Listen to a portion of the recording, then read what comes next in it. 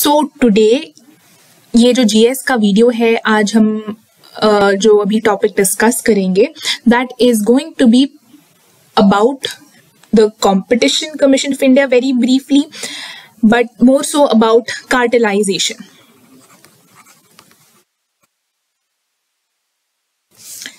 cartel क्या होता है? एंड सी देखिए, ये वाला जो वीडियो है it is about Competition Commission of India about cartelization about what is the impact of cartelization so इस वीडियो को हम जीएस टू वाले प्लेलिस्ट में रखेंगे। हालाँकि जीएस थ्री में भी रखा जा सकता है because there are these concept but क्या है कि because it involve regulatory bodies competition commission of India competition act two thousand and two में what is the definition of a cartel a monopoly, ये सारी चीज़ें because it's more leaning towards G S two regulatory body हम उसको G S two के folder में रख देंगे but that nevertheless you also it is good to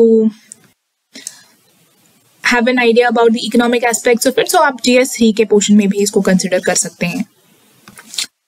basically ये इसलिए ये इम्पोर्टेंट हो जाता है क्योंकि uh, somewhere around about a few months back, uh, somewhere in September or so, that time make news tha about the Competition Commission of India finding that three beer companies had come together to fix the beer prices between the years 2009 and 8, 2000 to 2018. अब इससे क्या हुआ कि इसकी वजह से ये जब ये साथ में आए we see what this what what kind of thing this what kind of thing happens when we talk about cartels. But they, when they came together, the Competition Commission of India basically uh, slapped a punishment on a penalty on these companies for cartelization and uh, supply of beer. ठीक है? तो हम इसके, जब हम, अब ये context है तो we have to understand the background which is more relevant for us ठीक है? हमें इसका बैकग्राउंड समझना है। We have to understand what is cartel what is the role of the Competition Commission of India in regulating these anti competitive practices and साथ ही साथ हमें ये समझना है कि कार्टिलाइजेशन का इम्पैक्ट क्या होता है। All right right? And we will look will look into it तो सबसे पहले स्टार्ट करते हैं। ये वाला जो है कॉम्पिटिशन कमीशन ऑफ़ इंडिया के बारे में briefly we have touched upon in the prelims basket as well so anyhow see mandate क्या है competition law of competition law in India का, जो कॉम्पिटिशन एक्ट है। सी इसका थ्री फोल्ड मैंडेट है, ठीक है? एक तो एंटी कॉम्पिटेटिव अग्रीमेंट्स को चेक पे रखना। यानी कि it to see to it that anti-competitive agreements do not happen. In the sense, anti-competitive agreements kya hai we will see, but the mandate of the competition law is to check anti-competitive agreements. यानी कि वो agreements जो that kill competition, right? That and we will see what it is exactly. Secondly, कुछ companies होती हैं जिनका position strong होता है उन कम, वो companies tend those strong companies tend to manipulate the weaker organization tend to dominate the weaker organization. तो उस तरीके की चीज़ को प्रोहिबिट uh, करना। Prohibit the abuse of dominance by strong companies over weak organisations right then to regulate mergers and acquisition और takeovers taking place in the market जो mergers हो रहे हैं एक्विजिशन हो रहे हैं takeovers in the market उसको regulate करने का भी मैंडेट है इस कॉम्पिटिशन लॉ का। ये जो कंपटीशन एक्ट है basically of two thousand and two that provides establishment of this CCI that is the Competition Commission of India अब देखिए क्या है, ये जब हमने इसकी बात की थी यहाँ पर रेगुलेट मर्जर्स एंड एक्विजिशन और टेक ओवर्स तो let us say why why do we have to regulate such mergers आप सोच सकते हैं। लेट अस से हाइपोथेटिकली दो कंपनीज़ हैं, ठीक है? अब जो एक ही प्रोडक्ट बनाती है लेटर से कंपनी ए एंड बी जो एक ही प्रोडक्ट बनाती है whatever that product is ठीक है अब ये दोनों लेटर से मर्ज हो जाती हैं they are only two companies that manufacture this product let us say and they get merged so what happens then a combination of these two will overtake the market and the competition will be gone so that it is important to regulate such mergers and acquisitions ताकि you know there is no compromise on the interest of the consumers. Alright, we'll see to it. Anyhow cartelization के बारे में भी देखेंगे अब देखिए Competition Commission of India का uh, जो एस्टैब्लिशमेंट है that is that was under the Competition Act of 2002 अब ये देखिए कि कंपटीशन कमीशन ऑफ़ इंडिया जो है it is the chief national competition regulator of India ठीक है और ये एक स्टैचुटरी बॉडी है स्टैचुटरी क्यों है क्योंकि it was it is under the Competition Act right of to and this remember one thing from the prelims perspective also this can be important it is a statutory body within the ministry of corporate affairs and इसका काम क्या है इसका काम है competition Act of 2002 को enforce करना ठीक है ताकि क्या हो सके दीज आर द एम्स ठीक है to prevent practice that have adverse effect on competition उन प्रैक्टिस को प्रिवेंट करना, जिसकी वजह से कॉम्पिटिशन हैम्पर हो सकता है कॉम्पिटिशन पे इफ़ेक्ट आ सकता है। फॉर एग्ज़ाम्पल कार्टिलाइजेशन जिसके बारे में हम देखेंगे।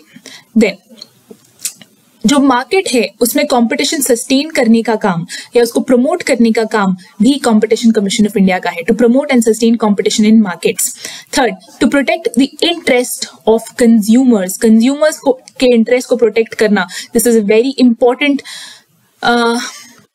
objective of the Competition Commission of India consumers के इंटरेस्ट को प्रोटेक्ट करना. Then to ensure freedom of trade carried on by other participants in the Indian market freedom of trade को ensure करना।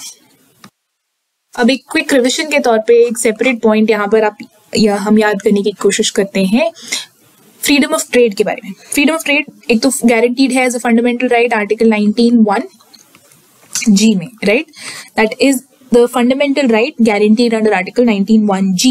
उसके अलावा there is also a constitutional right that is Article 301 ठीक है? And they basically supplement each other ऐसा कह सकते हैं। एंड uh, अगर आपको याद होगा तो आर्टिकल 19 जो है that is available to the citizens but अगर हम आर्टिकल 301 की बात करें so this is a constitutional right and it is available it extends to all individuals. So the Constitution of India also enshrines the freedom of trade, commerce and intercourse through Article 301 191 G तो हमेशा, हम, हमेशा हमें याद रहता ही है generally but ये भी 301 is also freedom of trade commerce and intercourse under Article 301 right so coming back अब देखिए कॉम्पिटिशन एक्ट 2002 में देर इज़ ये देखिए कार्टेल्स को हमें समझना है। कार्टेल्स बेसिकली क्या है?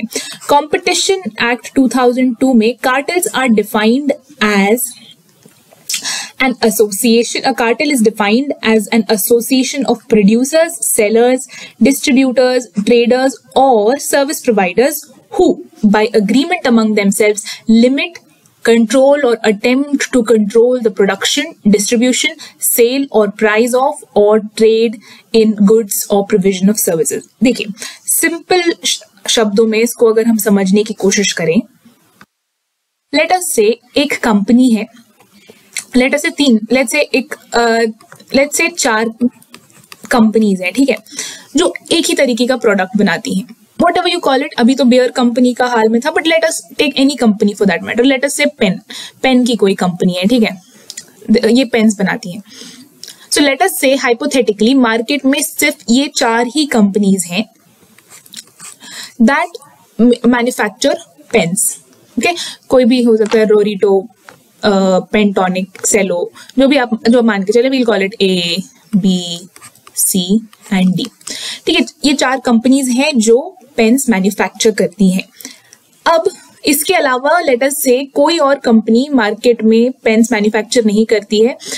सो so, अगर ये प्रोडक्शन अपना बंद कर दें या प्रोडक्शन चेंज कर दें तो that will affect the market फिर पेन्स का सप्लाई विल गेट अफेक्टेड अब ये सब क्या करेंगे? अगर ये चारों साथ में आ जाए लेट अस से दे आर प्रोड्यूसर्स ठीक है? प्रोड्यूसर्स हैं और ये सब साथ में आ जाते हैं एंड अपने बीच में एक अग्रीमेंट कर देते हैं और कहते हैं कि हम जो पेन्स का मैन्युफैक्चरिंग है, उसको लिमिट कर देते हैं। क्या करेंगे? और लेटर से इनके इनके पास पेन्स बने हुए हैं, पर ये क्या कर देंगे? इसको होल्ड कर देंगे, एक जगह रख देंगे और कहेंगे हम इस, इन पेन्स को मार्केट में नहीं निकालेंगे। तो इससे क्या होगा? पेन्स सप्लाई जो है वो कम हो जाएगा। This is one example of cartelization कि सप्लाई क्या होगा? सप्लाई जो है वो रिस्ट्रिक्ट हो जाएगा और जब सप्लाई रिस्ट्रिक्ट हो जाएगा, जब ये पेन्स को नहीं मार्केट में लाएँगे या दे विल स्टॉप इट और they will hold it and keep it ये सोच के कि जब डिमांड जब सप्लाई रिस्ट्रिक्ट हो जाता है and the demand remains the same तो क्या होता है? इसके कंपेरिजन में जो प्रोडक्ट का जो प्राइस है वो बढ़ जाएगा। So the prices of the pens will go up whatever prices of the products will go up. So, in that case, by holding the supply or by manufact, by holding, they could manufacture less or they have manufactured it, but ये hold करके रखें एक जगह पे इसको hold करके रखें, ये सोच करके हम इसको मार्केट में नहीं उतारते हैं, ताकि जब इसका प्राइस जो है वो बढ़ेगा, तब हम इसको निकालेंगे। They are actually creating an artificial demand by holding supplies and thus this raises prices in a collaborative manner right understanding that so it raises prices in ये सब मिलकर सो so इन सबको फ़ायदा हो रहा है क्योंकि फिर पेन्स को ये बाद में ज़्यादा प्राइसेस पे बेच पाएँगे। सो so, बट ये कंज्यूमर के लिए सही नहीं है। It impacts the consumer because consumer later से दस रुपए में पहले मिल रहा था। ये अलग अलग अगर कम्पीट कर रहे थे तो दस रुपए का पेन था दस रुपए का पेन था ये सब दस रुपए का बेच रहे थे। तो क्या होता एक दूसरे से कम्पीट करने के लिए ये कंपनी ए कंपनी अपने नौ रुपए में बेचती ये कंपनी बी देखता कि यार ये तो नौ रुपए का हो गया तो इसको चलो हम आठ रुपए का कर देते हैं। कंपनी सी सोचता चलो हम भी इसको आठ कर देते हैं। और ये कंपनी डी भी हो सकता है सात रुपए कर दे। तो बेसिकली कंज्यूमर्स के फ़ायदे की when competition is there it is in the benefit of the consumers consumers को ज़्यादा ऑप्शंस मिलते हैं। They get competitive prices they can purchase the things at lesser prices the prices that are competitive अब अगर ये सब साथ में आ जाते हैं और ये कहते हैं लेटर से इनके बीच में एक अग्रीमेंट हो जाता है, ये सब साथ में आ गए तो जितना कॉम्पिटिशन था मार्केट में लेटर से ये चार ही है हाइपोथेटिकली पेन कंपनीज़ एंड ये कहते हैं, ये क्या करेंगे, ये साथ में आ जाते हैं, ठीक है?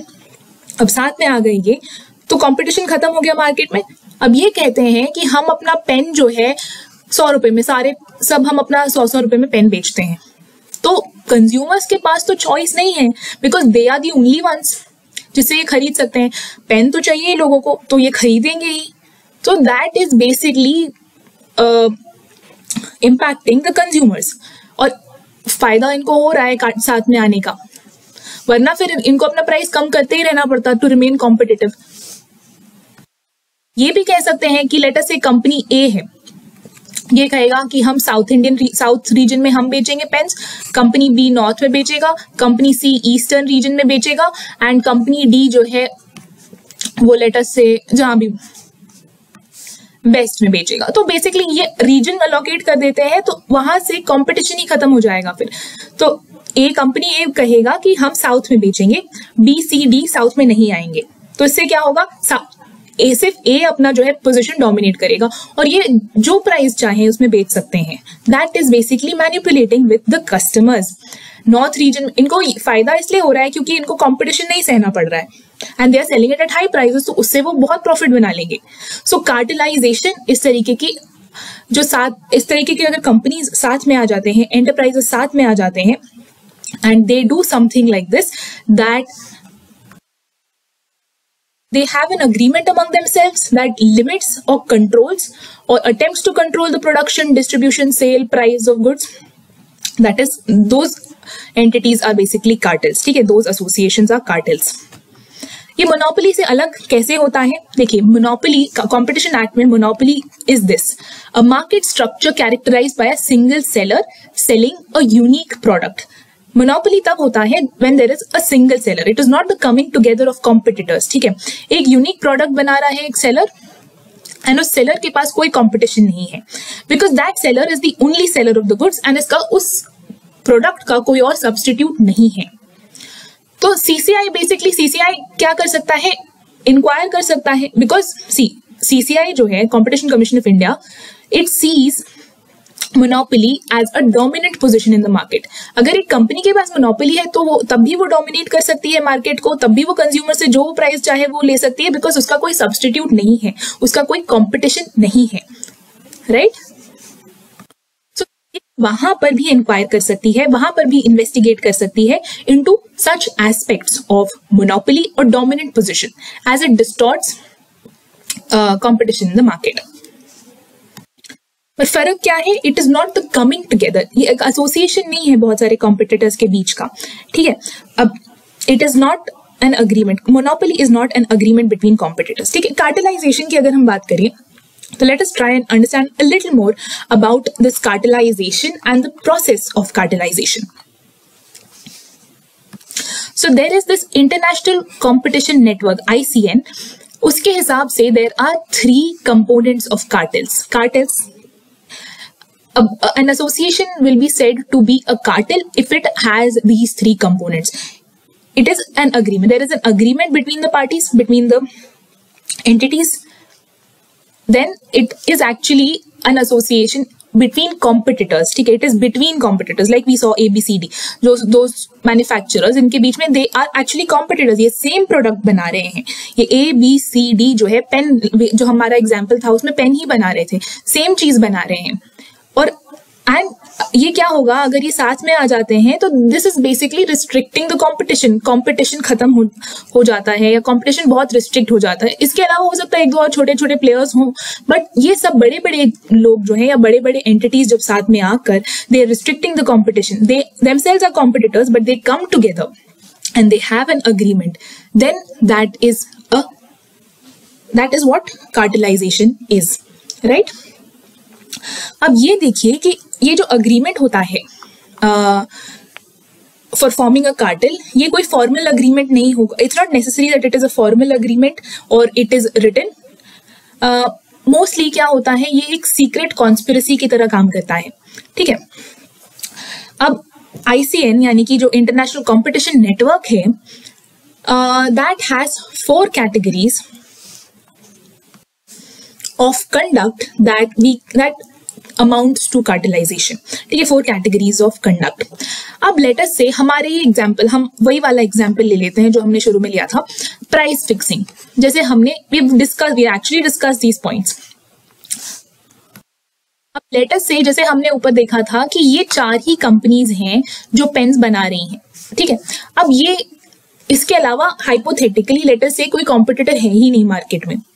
तो ये अब पेन अपना दस रुपए में बेचें या पचास रुपए में बेचें या सौ रुपए में बेचें, क्योंकि ये सब साथ में आ गए हैं और कोई और नहीं बना रहा है तो they can fix whatever price they want by coming together that amount to cartelisation right output restriction सी क्या हो सकता है कि लाइक आई सेड ये चारों कंपनी साथ में आ जाते हैं। दे से कि हम अपना जो मैन्युफैक्चरिंग है थोड़े दिन के लिए थोड़े टाइम के लिए कम कर देते हैं या फिर अगर ये मैन्युफैक्चर कर चुके हैं they will restrict the supply ये कहेंगे they will basically what they will do is they can create they can hold the supplies and by this way they create an artificial demand they restrict the outputs and uh, that way again that amounts to cartelization. Market allocation like i said ये क्या हो सकता है कि एक company बोले कि हम साउथ में ये कंपनी ए साउथ में ऑपरेट करेगी कंपनी बी नॉर्थ इंडिया में ऑपरेट करेगी कंपनी सी जो है मतलब ये ओवरलैप नहीं होगा in areas of operation they selling their products तो कंपटीशन उस एरिया से नहीं होगा। कंपनी ये बोलेगी, हम साउथ में बेचेंगे, जितने भी they will allocate a few number of they allocate की इस एरिया में जो है हम बेचेंगे, इस एरिया में दूसरी कंपनी बेचेगी बी बेचेगी। अब कंपनी ये क्यों अग्री करेंगे एक दूसरे के साथ? क्योंकि इस लेट से साउथ इंडिया में कंपनी ए ही ऑपरेट करेगी बी सी डी ऑपरेट नहीं करेंगे। तो कंपटीशन नहीं है। जो प्राइस में चाहे वो बेच सकते हैं। That again market allocation bid then another way is bid rigging bid rigging अगर हम देखें बेसिकली बिड रिगिंग क्या होता है? We can think of it it is an illegal practice ठीक है? इसमें क्या होता है कि जो कंपीटिंग पार्टीज़ होती हैं, ये सब साथ में मिलकर ऑलरेडी पहले ही विनर डिसाइड कर लेते हैं। लेटर से किसी चीज़ का बिडिंग हो रहा है, ठीक है? लेटर से कोई गवर्नमेंट प्रोक्योरमेंट कॉन्ट्रैक्ट या कुछ इस तरीके का है जहाँ पर बिडिंग चल रहा है जिसके लिए। अब ये लेटर से बहुत सारी entities there are these entities that have come together in this cartelisation and ये बेसिकली यही चार कॉम्पिटिटर्स ही हैं पर इनमें से दे हैव डिसाइडेड कि हम, ये जो विनर है this will be the winner अब क्या हो सकता है इसमें? देव ऑलरेडी प्री डिसाइडेड ठीक है, कि विनर कौन होगा इसमें? अब जब बिडर कोऑर्डिनेट करके इस तरीके का price they come up they come together so it can result in a distorted price ठीक है तो दे ये कहेंगे कि हम बिड जो है, इससे ज़्यादा लेटर से कोई चीज़ का बिडिंग है सौ करोड़ का हो it's it has they have set it for सौ करोड़, कोई contract something some government contract whatever अब यहाँ पर ऑलरेडी डिसाइडेड है प्री डिसाइडेड है एक winner this is an example अब विनर डिसाइडेड है और इनमें यही लेटर से ये सब, इतने ही लोग हैं who are actually bidding so they have come together ठीक है, इससे, इसके अलावा कोई और बिडर नहीं है. तो ये जो प्राइस चाहे वो रख सकते हैं. बिकॉज़ कोई और नहीं खरीदेगा. So they can actually manipulate the price rather than what would have resulted from a free market या फिर with competitive from the usual competitive process ये कहेंगे कि हम इससे ज़्यादा नहीं देंगे। लेटर से कह दें, हम पचास करोड़ से ज़्यादा कोई देगा ही नहीं। तो what might happen is that क्योंकि कोई और इसको नहीं ले रहा है ऑन दैट प्राइस तो they would have to this is basically rigging the bid okay? So basically, it is adversely affecting or the process of bidding.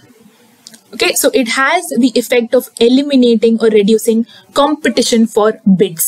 That is also cartelization. That is also that also comes under cartelization.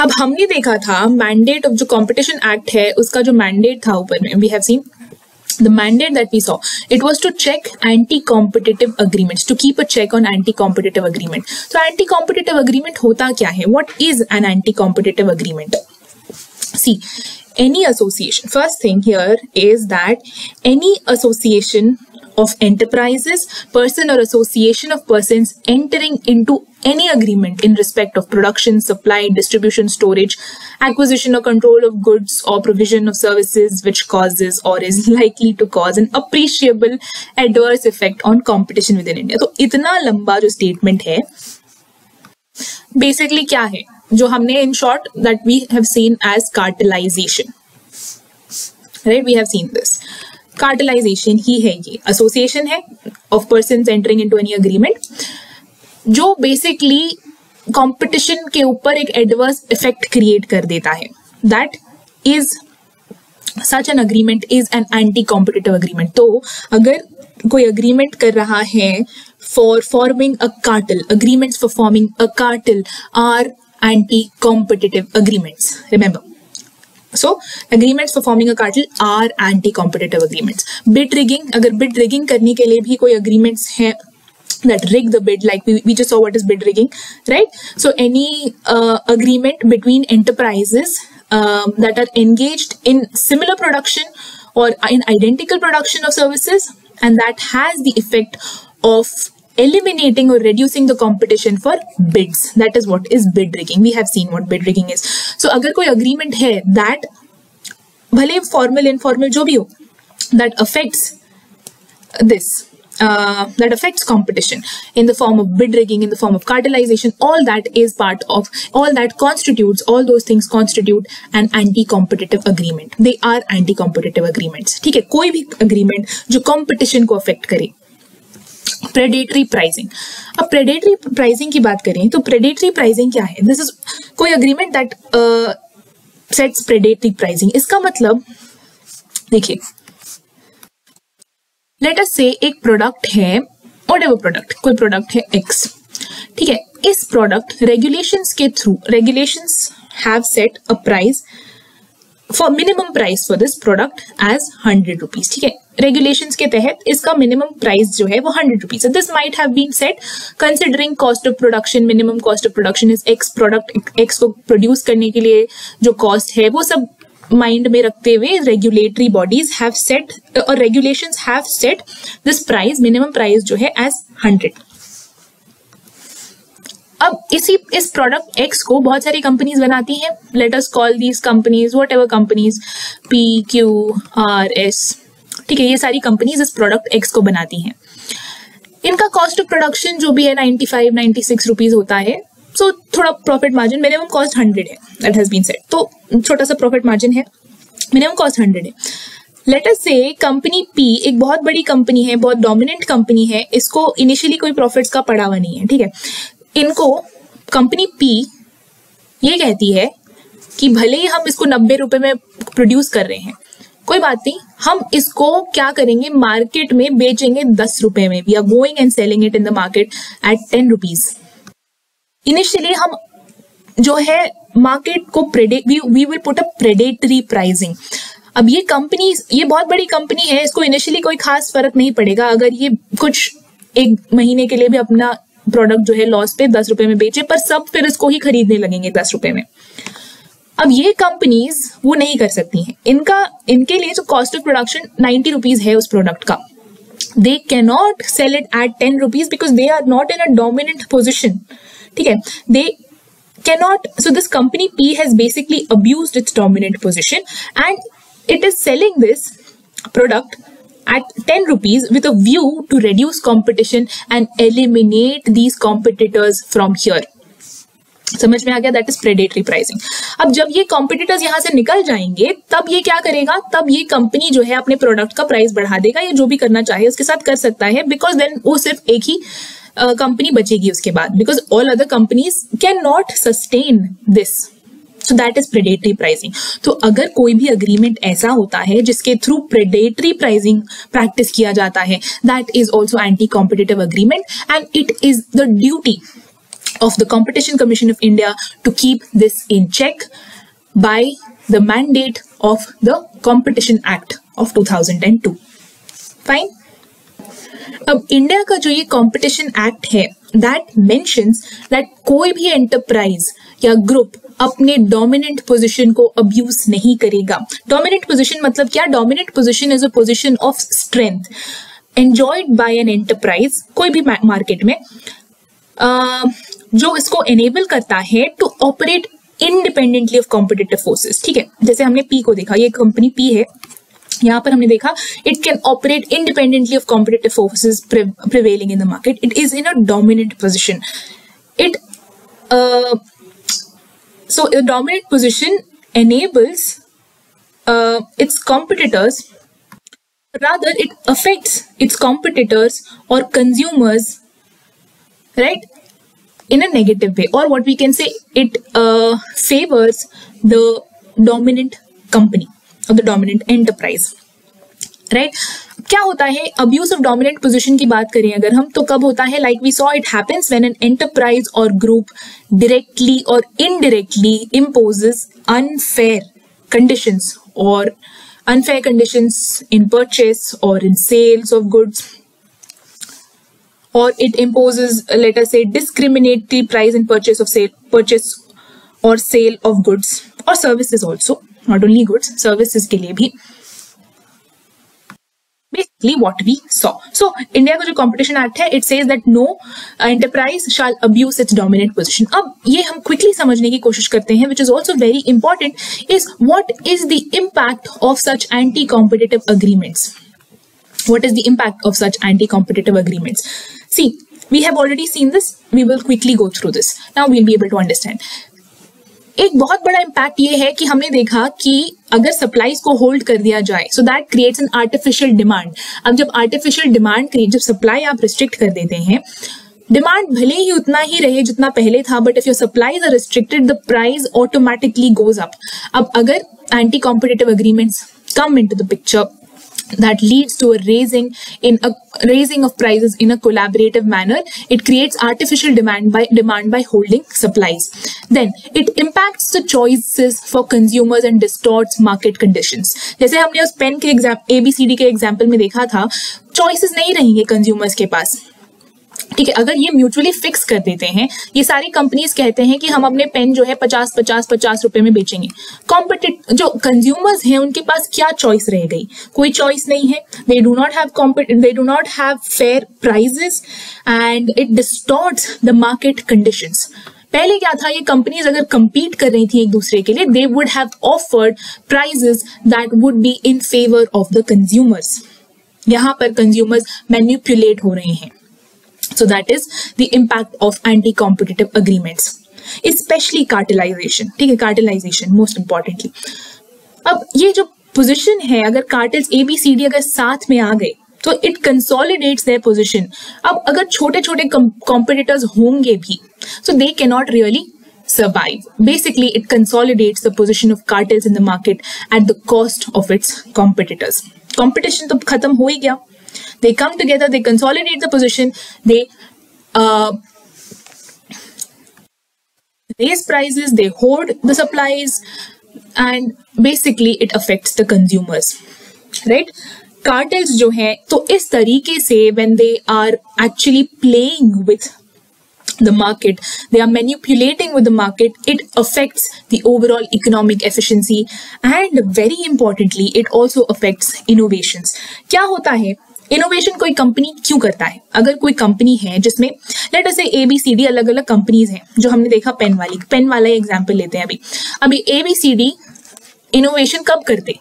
अगर इनको अपना pen जो है best quality का बनाना होता, बहुत ही competitive बनाना होता, ताकि लोग उसको आके खरीदें, तब वो कंपनीज़ इनोवेशन करेंगी।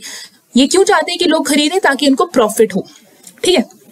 Then they will be motivated to do research to do more innovation in their product then they will bring all kinds of technology they'll bring japanese ink ink technology जो भी है तरह तरह की technology वो लेके आएँगे बट अगर इनको ऑलरेडी ये कार्टल बना के अपने आप में बहुत ज़्यादा प्रॉफिट कर रहे हैं अपने आप से प्राइस जो है वो तय कर रहे हैं तो इनको कोई ज़रूरत ही नहीं है इनोवेशन की that basically is there won't be they do not have any incentive to invest in research and फिर जो choices हो जाते हैं consumers के पास that is also very limited that is one adverse effect of cartelization तो basically cartels monopolies तो फिर भी they would invest in research okay but cartels unlike monopolies do not have any incentive to invest in research because uh, they do not see a reason why they should boost their investment towards making production more efficient because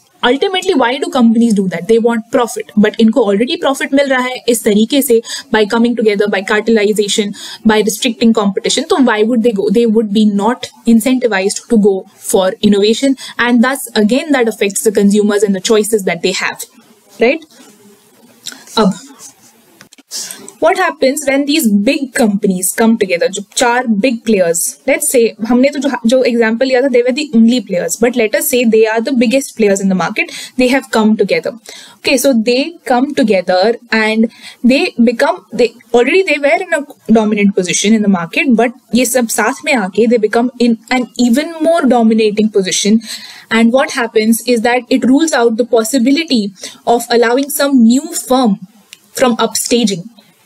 There when these come together it would actually restrict the growth or the rise of these small small companies. So all in all cartels basically eliminate competition. And they are not something that is desirable. They are something that the competition commission of india tries to eliminate cartelization. Because that is part of the anti-competitive agreement right? So jo competition act mein diya hua tha starting mein so cartelization is something that adversely affects competition and we saw what is the impact. So for this aaj ke video mein itna hi for this. So hope this was clear and we will continue our discussions in the upcoming videos